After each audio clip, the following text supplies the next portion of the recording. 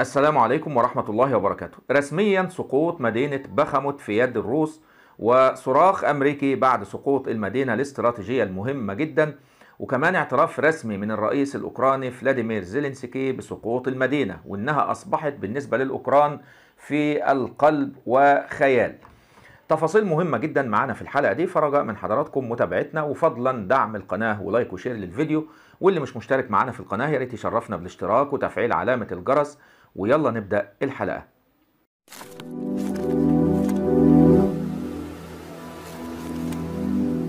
في مجموعة السبعة الصناعية اللي منعقدة حاليا في هيروشيما في اليابان أعلنت روسيا السيطرة على مدينة بخموت الأوكرانية بعد معركة استمرت 8 شهور في المدينة. الرئيس الأوكراني فلاديمير زيلينسكي أعلن كمان النهاردة وهو موجود في قمة السبعة الصناعية إن المدينة سقطت وإنها بقت في قلوب الأوكران فقط لدرجة إنه بيخاطب الشعب الأوكراني إنهم يعرفوا إن مفيش مدينة اسمها بخمت من الأساس لأن الروس دمروها بالكامل زي ما قال. لكن بعد كده رجع المتحدث باسم الرئيس الأوكراني وقال إن زيلينسكي ما كانش يقصد سقوط المدينة وما أقرش أصلا بسقوطها وإن رد الرئيس الأوكراني ده كان سببه إن أحد الصحفيين سأله عن سقوط سيطرة الروس على بخمت فأجاب بالنفي. بعدها رئاسة الأركان الأوكرانية نفت سيطرة الروس على بخمت وإن القتال في المدينة مازال مستمر وإن قوتها بتصد عمليات قتالية هجومية للجيش الروسي وكلها بتفشل. الرئيس زيلينسكي نفسه حاول ينفي الكلام اللي قاله عن سقوط مدينة بخمت وقال إنها مليئة بجثث الروس وإن حالة المدينة صعبة جدا بسبب هذه الجثث لكن رد عليه مؤسس مجموعة فاجنر الروسية بأن أكثر الجثث في بخمت للقوات الأوكرانية.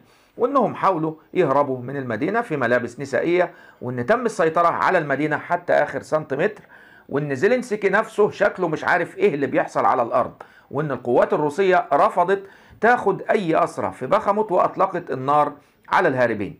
والكلام ده طبعا وفقا لمؤسس مجموعة فاجنر زيلينسكي وهو بيتكلم عن فشل أوكرانيا في الاحتفاظ ببخمت في مجموعة السبعة الصناعية تمت مكافئته بالإعلان عن حزمة جديدة من الأسلحة والمساعدات العسكرية الأوكرانية واللي كانت عن طريق أمريكا اللي أعلنت إنها هتبذل قصارى جهدها في الدفاع عن أوكرانيا وتعزيز قدراتها الدفاعية. من المفترض أن المساعدات الأمريكية القادمة هتكون بقيمة 375 مليون دولار وهتتضمن ذخيرة ومدفعية ومركبات مدرعة. لكن على الجهة الثانية الروس أعلنوا بشكل رسمي السيطرة على بخمت وتطهيرها بالكامل وأن العمليات اللي بتحصل فيها حاليا هي إعادة تهيئة للمدينة لإخضاعها للقانون الروسي وللسيادة الروسية. حتى إن الرئيس بوتين نفسه هنأ مجموعة فاجنر وقوات الجيش الروسي بخصوص السيطرة على المدينة ووجه برفع أسماء المشاركين في تحريرها وتقليدهم اوسمة الشرف لأنهم زي ما بيقول بيستحقوها. الأوكران عندهم رواية إن بخمت لم تسقط حتى الآن ليه؟ لأنهم بيحاولوا يشنوا هجمات من على أطراف المدينة وأجنحتها علشان يقتحموها وبالتالي الكلام عن سقوطها هو كلام غير دقيق من وجهة نظرهم طبعا لأن لسه الاشتباك زي ما بيقولوا شغال والمعركة مستمرة لكن ده تدليس ليه بقى؟ لأن المدينة دلوقتي بالكامل تحت سيطرة الجيش الروسي فعليا والتصريحات الأوكرانية ما هي إلا محاولة إبراز التقدم أو تطور القتال علشان زيلينسكي في اجتماع مجموعة السبعة الصناعية في اليابان. وبسبب الضغوط اللي عليه كمان من الناتو وأمريكا بيصنعوا رواية تجيب دعم أكبر من الأمريكان وأوروبا ومعها مساعدات أكبر لأن الأنظمة الأوروبية والأمريكية واقعة تحت طائلة ضغوط شعبية واقتصادية كبيرة. وبالتالي هم عايزين يقولوا إن استثمارهم في دعم أوكرانيا بيجيب نتيجة وإنهم هيستمروا في الدعم ده. بالتالي هم بيحيدوا جزء من الضغوط الموجودة عليهم علشان يتكلموا في دعم أكبر لأوكرانيا. مش بس حزم المساعدات العسكرية التقليدية ولكن كمان لإدخال أسلحة جديدة لأول مرة لأوكرانيا زي مثلا الكلام الحالي عن تزويد أوكرانيا بثلاثة أو أربع أسراب من طائرات الإف 16 الأمريكية واللي دعمتها أمريكا وبريطانيا. وحتى هولندا كمان النهارده أبطأت بيع مقاتلاتها من نفس الطراز لأنها هتبعتها لأوكرانيا في الفترة القادمة واللي متوقع تكون في بداية شهر أغسطس القادم. مجموعة السبعة الصناعية أعلنت إنها مش هتجمد الصراع وإنها مستمرة في دعم أوكرانيا زي كندا مثلا اللي صرح رئيس وزرائها بدعم أوكرانيا مهما استغرق الأمر ومهما كلف بلاده الدعم ده. كمان المستشار الألماني قال إن تدريب الطيارين الأوكران على المقاتلات الأمريكية هو رسالة لروسيا إن ما تفكرش إن غزوها لأوكرانيا هينجح وإن إطالة أمد الصراع مش معناه التخلي عن دعم أوكرانيا وإن تقديم مساعدات دفاعية لأوكرانيا مش معناه الاقتصار عليها. ولكن يجب وضع ضمانات أمنية لأوكرانيا بعد انتهاء الحرب. كمان رئيس الوزراء البريطاني قال إن التدريب اللي هتشارك فيه بلاده هيبدأ الصيف ده وهيتم فيه تزويد أوكرانيا بالطيارات اللي محتاجاها في المستقبل. فكل الكلام اللي خرج من مجموعة السبعة هو عبارة عن ضرورة دعم أوكرانيا ورفض تجميد الصراع أو انتهائه إلا بهزيمة الجيش الروسي وانسحابه بالكامل من الأراضي الأوكرانية كافة. الضجة اللي معمولة في قمة السبعة الصناعية دي جاية بسبب الهزيمة في بخمت اللي مش بس كانت ضربة معنوية للناتو وأمريكا لكن كمان يا أخوانا كانت أكبر من كده.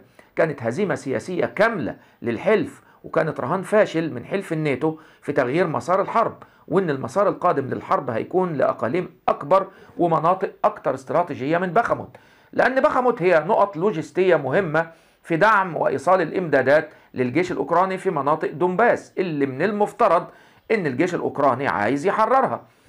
سيطرة الروس على بخمت هيوصلهم بالطريق الدولي M03 واللي من خلالها تقدر القوات الروسية تتقدم لخاركييف وهتمكن الجيش الروسي كمان من تهديد مناطق أكبر زي كراماتورسك وهتكون منصة انطلاق لمزيد من المكاسب الميدانية.